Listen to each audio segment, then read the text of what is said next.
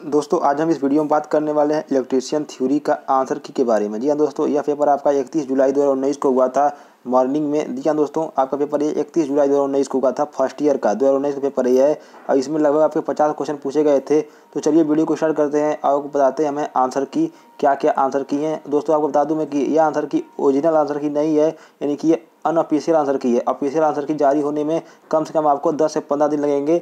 उसके बाद ही आपकी ऑफिशियल की आपको मिल पाएगी। तो इसी आंसर की आपको देख लीजिए। मिला लीजिए सारे अपने आंसर्स को। क्या क्या आपने टिक लगाए हैं। वीडियो स्टार्ट होने से पहले दोस्तों आपको बता दूँ मैं कि टेक्निकल रोबोट का नाम बदलकर टेक्निकल एजुकेशन कर दिया गया है। मतलब इस चैनल का नाम बदलकर टेक्निकल एजुकेशन कर दिया गया है। तो आप लोग कृपया इसको सब्सक्राइब कर लीजिएगा। अगर आप लोग को यहाँ पर सब्सक्राइब बटन नीचे दिख रहा होगा, उसको आप दबाकर और बगल में दिख रहे बेल आइकन को दबा लीजिएगा और वीडियो को ज़्यादा लाइक करिएगा और शेयर करिएगा। टेक्निकल रोबोट का नाम बदलकर टेक्निकल एजुकेशन कर दिया गया है। इस चैनल का नाम बदलकर क्या कर दिया गया है? टेक्निकल एजुकेशन कर दिया गया है। तो चलिए वीडियो को स्टार्ट करते हैं और आपको बताते हैं सारे क्वेश्चन देखिए, यह पेपर जो आपका है बुकलेट सीरीज़ सी का है। कि क्या है बुकलेट सीरीज़ सी का है? तो अगर आपका बी हो ए हो तो आपको करना क्या होगा? उसमें आपको मिलाना होगा, यानी कि आप इसको पूरा पहले देख लीजिए, कौन सी, किसका किसका कौन सा आंसर होगा। उसके बाद आप अपने में टिक कर सकते हैं आसानी से। पहले इसको आप पूरा मिला लीजिएगा। अगर आपको नहीं मिल रहा होगा तब घबराइएगा मत घबराइएगा मत। तो आपको, हमने बताया कि आंसर की यानी कि ये बुकलेट नंबर आपकी सी है, और इसी की आंसर की यहाँ पर है।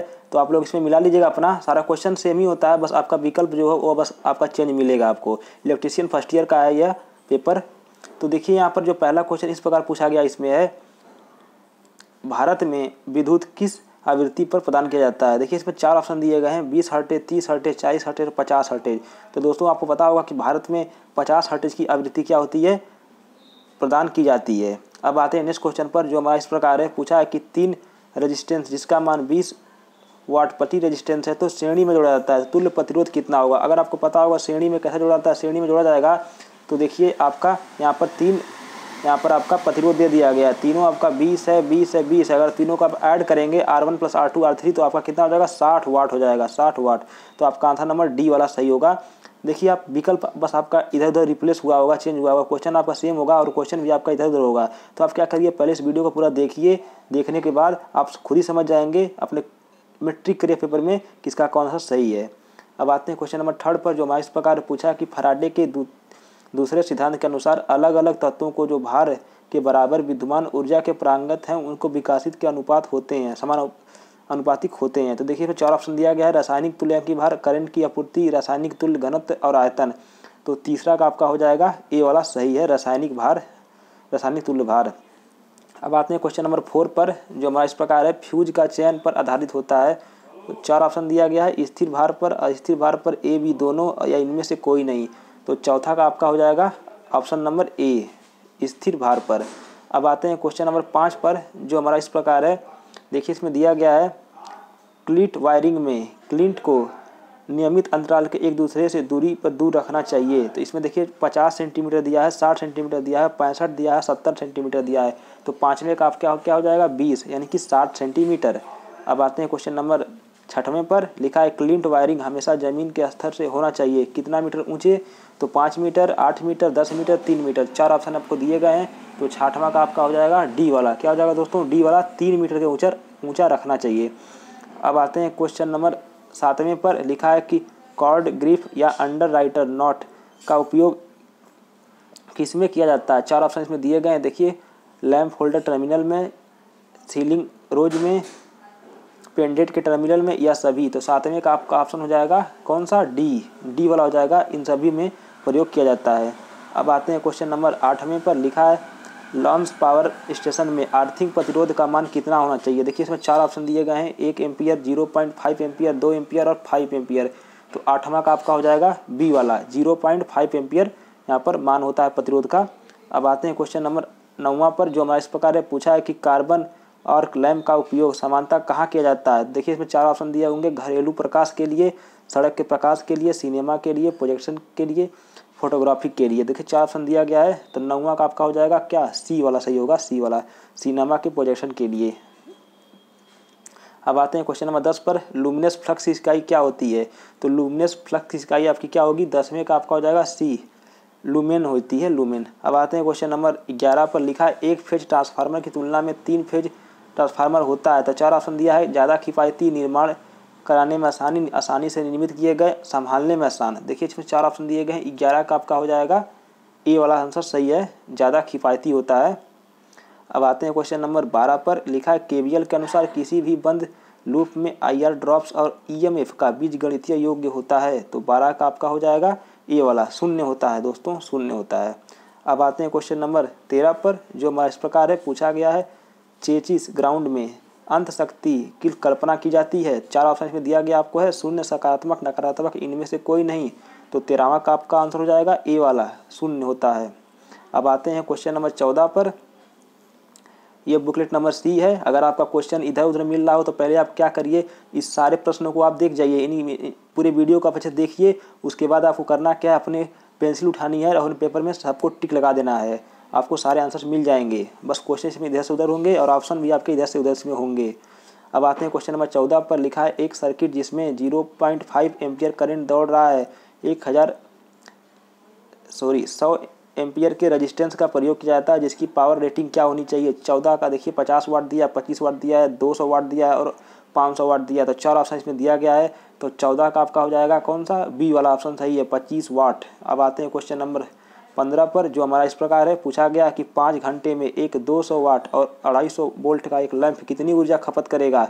तो चार ऑप्शन इसमें दिए गए हैं, दस वाट, पाँच वाट, एक किलो वाट, यानी कि इनमें से कोई नहीं। तो आपका ऑप्शन क्या होगा? इसमें से पंद्रह का हो जाएगा आपका सी वाला। कौन सा हो जाएगा? सी वाला। एक किलो वाट हावर अब आते हैं क्वेश्चन नंबर दस पर सॉरी सोलह पर। लिखा है, एक अच्छा कंडक्टर एक इंसुलेटर होता है तो क्या होगा? बहुत ही बुरा भी होता है। अच्छा कंडक्टर होगा तो क्या होगा? बुरा इंसुलेटर होगा।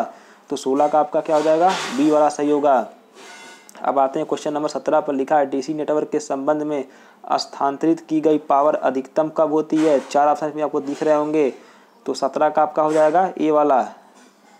R L equal to R T H होता है। अब आते हैं क्वेश्चन नंबर नेक्स्ट पर। अट्ठारह है, घरेलू संस्थापक में जोड़ा जाता है। घरेलू संस्थापक में क्या जोड़ा जाता है? सीरीज़ या फिर सीरीज़ पैरलर पैरलर सीरीज़। तो अट्ठारह का हो जाएगा आपका डी पैरलर में ही हमेशा वायरिंग की जाती है घरेलू की। अब आते हैं क्वेश्चन नंबर। उन्नीस पर लिखा है, हमारे देश में मानक ऊर्जा आपूर्ति की आवृत्ति होती है। तो हमारे देश में जो मानक ऊर्जा की आपूर्ति होती है, पचास हर्टेज होती है दोस्तों, पचास हर्टेज।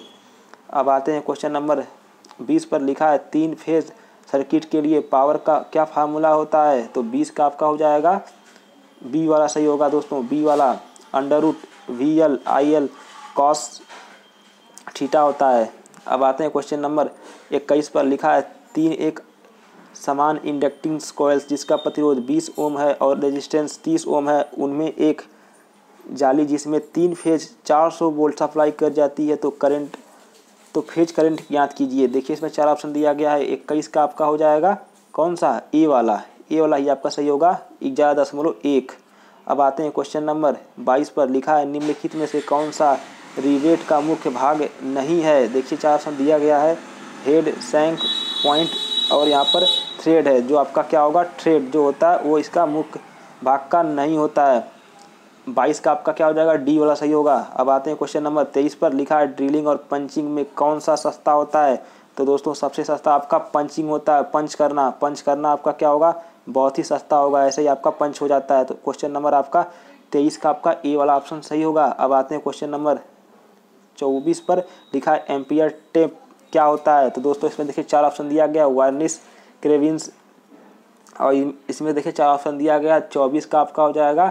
ए वाला ऑप्शन सही होगा। वार्निस केविंस अब आते हैं क्वेश्चन नंबर पच्चीस पर, जो हमारा इस प्रकार है। लिखा है, केबल के कंडक्टेंस की तरह प्रयोग में लाई जाने वाली होती है। तो पच्चीस का आपका देखिए चार, पाँच ऑप्शन चार ऑप्शन दिया गया है तो इसमें हो जाएगा आपका ए वाला आपका ऑप्शन सही होगा।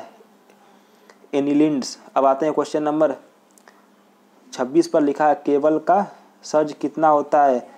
तो इसमें देखिए, पाँच एम्पियर, बीस एम्पियर, पचास एम्पियर और सौ एम्पियर दिया गया तो छब्बीस का आपका हो जाएगा सी वाला ऑप्शन सही है, पचास एम्पियर। अब आते हैं सॉरी पचास, यहाँ पर ओम दिया है। अब आते हैं क्वेश्चन नंबर सत्ताईस पर लिखा है, एक असमान भीतर की विद्युत ऊर्जा हस्तांतरित कर रासायनिक अवगठन में उत्पन्न करने की प्रक्रिया को कहते हैं। देखिए, इसमें इलेक्ट्रॉड सील, इलेक्ट्रोप्लेटिंग्स या फिर इलेक्ट्रोलाइसिस या फिर इनमें से कोई नहीं तो सत्ताईस का आपका हो जाएगा ए वाला। हमेशा क्या होता है, एनॉड पर ही किया जाता है इलेक्ट्रोलाइसिस। तो इलेक्ट्रोलाइसिस में पर हो जाएगा, यानी कि आपका ऑप्शन ए वाला सही होगा। अब आते हैं क्वेश्चन नंबर अट्ठाईस पर। निम्नलिखित में से कौन सा विद्युत ऊर्जा का खराब कंडक्टर है, चार ऑप्शन में दिए गए हैं तो अट्ठाईस का आपका हो जाएगा। ए वाला ऑप्शन सही है, ए वाला। अब आते हैं क्वेश्चन नंबर उनतीस पर लिखा है, जब एक बल्ब के भीतर विद्युत करंट के हस्तांतरित किया जाता है तो अन्य प्रकाशित ऊर्जा होती, अन्य प्रकाशित होते हैं।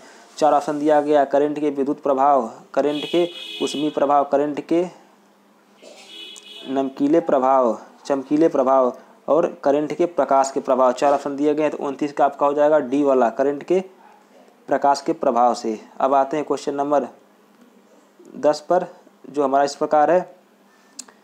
क्वेश्चन नंबर तीस पर, लिखा प्रकाश के बिजली तारों में पेंसिस क्लिंट के अर्थिंग समार्थिंग के इंसुलेटिंग केबल का प्रयोग किया जाता है। चार ऑप्शन दिए गए हैं, मेटल, डीवीसी या फिर क्लिट या फिर सीटीएस फिर आरटीएस देखिए, इसमें चार ऑप्शन दिया गया तीस का आपका ऑप्शन सी वाला सही होगा, क्लिट्स। अब आते हैं क्वेश्चन नंबर इकतीस पर। कोडबोर्ड बॉक्स में लिंक की दर विकल बॉक्स प्रति होती है? चार ऑप्शन में दिए गए हैं, दो सौ, दो, तीन सौ सौ पचास। तो आपका हो जाएगा इकतीस का सी सौ होते हैं सौ। अब आता है क्वेश्चन नंबर बत्तीस पर। क्रोल वेल्डिंग या उपयोग की जा सकती है। चार ऑप्शन इसमें दिए गए हैं तो आपका ऑप्शन हो जाएगा बत्तीस का सी वाला। हेक मैक्स फ्रेम फ्रेम्स अब आते हैं क्वेश्चन नंबर तैंतीस पर लिखा है, यदि हमारे पास दो पाँच एम्पियर और सौ वाट के सर्किट हैं तो जिसमें बिजली की सर्किट का भार कितना होगा? तैंतीस का आप समझाएगा ए वाला। ए वाला आपका सही होगा, दो सौ। अब आते हैं क्वेश्चन नंबर चौंतीस पर, जो हमारा इस प्रकार है, पूछा गया इसमें है एलईडी के विषय में ड्राइवर का क्या काम होता है? चार ऑप्शन इसमें दिए गए हैं एसी से डीसी बदलना डीसी से एसी बदलना एसी से एसी और ए बी दोनों इनमें से कोई नहीं। तो चौंतीस का आपका ऑप्शन हो जाएगा ए वाला। एसी को डीसी में बदलना होता है। अब आते हैं क्वेश्चन नंबर पैंतीस पर लिखा है ट्रांसफार्मर में कौन सी वाइंडिंग घुमाव में संख्या सबसे ज़्यादा होती है? तो चार ऑप्शन में दिए गए हैं low voltage winding high voltage winding और प्राइमरी वाइंडिंग और सेकेंडरी वाइंडिंग तो पैंतीस का ऑप्शन हो जाएगा आपका बी वाला हाई वोल्टेज वाइंडिंग का घुमाव सबसे ज़्यादा होता है। अब आते हैं क्वेश्चन नंबर छत्तीस पर लिखा है, एक पावर ट्रांसफार्मर में तेल का उपयोग क्यों किया जाता है? तो क्या होता है इसको ठंडा करने के लिए, ट्रांसफार्मर को ठंडा करने के लिए इसका उपयोग किया जाता है? छत्तीस का आपका ऑप्शन जाएगा। ये वाला, अब आते हैं क्वेश्चन नंबर सैंतीस पर, जो हमारा इस प्रकार है, लिखा इसमें है, वह भाग जिसमें एफ़ श्रेणी में रखा जाता है कौन सा अग्नियापक का प्रयोग किया जाता है? तो देखिए, इसमें चार ऑप्शन दिए गए आपको हैं तो सैंतीस का आपका हो जाएगा। कौन सा डी, सूक्ष्म पाउडर अग्निशासन होता है। अब आते हैं क्वेश्चन नंबर अड़तीस पर, जो हमारा इस प्रकार लिखा है कि विद्युत आग पर काबू पाने के लिए केबिल स्थित आपको सूखे पाउडर वाले अग्नियासम का प्रयोग करना चाहिए। चार ऑप्शन में दिए गए हैं। जब एक कार्बन डाइऑक्साइड अग्नियासम मौजूद हो, जब एक फ्रेम अग्नियासम मौजूद हो, और ऐसे ही आपके चार ऑप्शन दिए गए हैं तो अड़तीस का आपका हो जाएगा ए वाला। कौन सा होगा? ए वाला। जब कार्बन डाइऑक्साइड अग्नियासम मौजूद हो। अब आते हैं क्वेश्चन नंबर उनतालीस पर। लिखा, प्रकाश का मुख्य रेखा स्विच बिंदु पर विफातन के उपयोग किया जाता है। तो इसमें चार ऑप्शन दिए गए आपका हैं? तो उनतालीस का आपका हो जाएगा आंसर नंबर एक। पॉइंट्स होता है। ए वाला आपका सही होगा। अब आते हैं क्वेश्चन नंबर चालीस पर। ड्रिलिंग संचालक, जब गंस गति कौन सा प्रकार का होता है? चार ऑप्शन दिए गए रोटरी टर्मिनेटिंग फिक्स इनमें से कोई नहीं। थे चालीस का आपका ऑप्शन हो जाएगा। सी वाला सही होगा। सी वाला फिक्स्ड अब आते हैं क्वेश्चन नंबर चौवालीस पर लिखा है, नीचे दिए गई आकृति के अनुसार स्टील हैंड जिसमें छोटे नुकीले दांत होते हैं, नुकीले आकृति के प्रदान किए जा, उपयोग किए जाने वाले होते हैं। तो इसके चार ऑप्शन दिया गया इसमें है मेटल वाइंस स्टील चौक लाइन्स और तो इकतालीस का आपका हो जाएगा बी वाला स्टील फाइल्स अब आते हैं क्वेश्चन नंबर बयालीस पर जो हमारा इस प्रकार है, पूछा गया है कटिंग टूल्स घिसने की वजह क्या होती है? चार ऑप्शन इसमें दिया गया है तो बयालीस का आपका हो जाएगा। डी वाला ऑप्शन सही ये सभी, इन सभी से कटिंग टूल्स क्या होती है? घिस जाती है। अब आते हैं क्वेश्चन नंबर तिरालीस पर। सामग्री जो अपने द्वारा अणुओं को बहाव की अनुमति देती है, कहलाती है। चार ऑप्शन इसमें दिए गए हैं तो तिरालीस का आपका हो जाएगा बी वाला कंडक्टर्स होता है। अब आते हैं क्वेश्चन नंबर चौवालीस पर। लिखा है सिरेमिक्स जैसे आसानी से प्रकार बदलने वाली सामग्री जिसका उपयोग किया जाता है। चार ऑप्शन में दिए गए हैं तो चौवालीस का हो जाएगा आपका आपका बी वाला इंसुलेटर क्या होता है? इंसुलेटर अब आते हैं क्वेश्चन नंबर अगले पर, जो हमारा इस प्रकार है, पैंतालीस लिखा है सोल्डरिंग के दौरान फ़िल्टर मेटल का गलनांक बिंदु कितना होता है? तो देखिए, इसमें चार ऑप्शन दिए गए हैं। सोल्डरिंग के समय कितना गलनांक हो जाता है? तो 45 का आपका हो जाएगा बी वाला 420 डिग्री सेल्सियस के ऊपर पहुँच जाता है। अब आते हैं क्वेश्चन नंबर छियालीस पर लिखा है, केवल में सिम का उपयोग किया जाता है। चार ऑप्शन में दिया गया है, आप लोग को दिख रहा होगा। ऑप्शन ए बी सी और डी तो छियालीस का आपका आंसर होगा सी वाला, नमी का प्रवेश रोकने के लिए। अब आते हैं क्वेश्चन नंबर सैंतालीस पर, एम्पियर टेप क्या होता है? एम्पियर टेप क्या होता है? तो सैंतालीस का हो जाएगा आपका डी वाला, वार्निश केविंस होता है। अब आते हैं क्वेश्चन नंबर अड़तालीस पर, एक दस ओम रेजिस्टेंस पाँच वोल्ट की बैटरी के साथ जोड़ा जाता है तो स्रोत के करंट का बहाव ज्ञात कीजिए। जब इसको आप हल करेंगे तो आपका अड़तालीस का हो जाएगा डी वाला ऑप्शन सही, ज़ीरो पॉइंट फाइव एम्पियर। अब आते हैं क्वेश्चन नंबर उनचास पर। नोडल्स विश्लेषण का प्रयोग समानता निर्धारित करने के लिए किया जाता है। वोल्टेज, करेंट रेजिस्टेंस पावर तो उनचास का आपका हो जाएगा। बी वाला ऑप्शन सही करेंट ना करेंट के लिए किया जाता है। अब आते हैं क्वेश्चन नंबर पचास पर। ये हमारा लास्ट प्रश्न है। चुंबकीय वस्तुओं में से, चुंबकीय वस्तुआं कौन से सिद्धांत पर पालन करती हैं? तो चार ऑप्शन में दिए गए हैं। आप लोग देख रहे होंगे। फ्राडे फ्राडे का सिद्धांत एम्पियर का सिद्धांत लेंज का सिद्धांत और मैडम क्यूरी का सिद्धांत, जो ऑप्शन होगा आपका डी वाला सही होगा मैड क्यूरी मैडम का सिद्धांत। दोस्तों, अगर आपको वीडियो अच्छा लगा हो तो वीडियो को लाइक करिएगा और एक दूसरे को शेयर करिएगा और ज़्यादा से ज़्यादा कमेंट करिएगा। थैंक यू फॉर वॉचिंग दोस्तों। और आप हमें बताइएगा कि आपका कितना आंसर इसमें सही मिल रहा है। मिलते हैं अगली वीडियो में, तब तो तक बाय बाय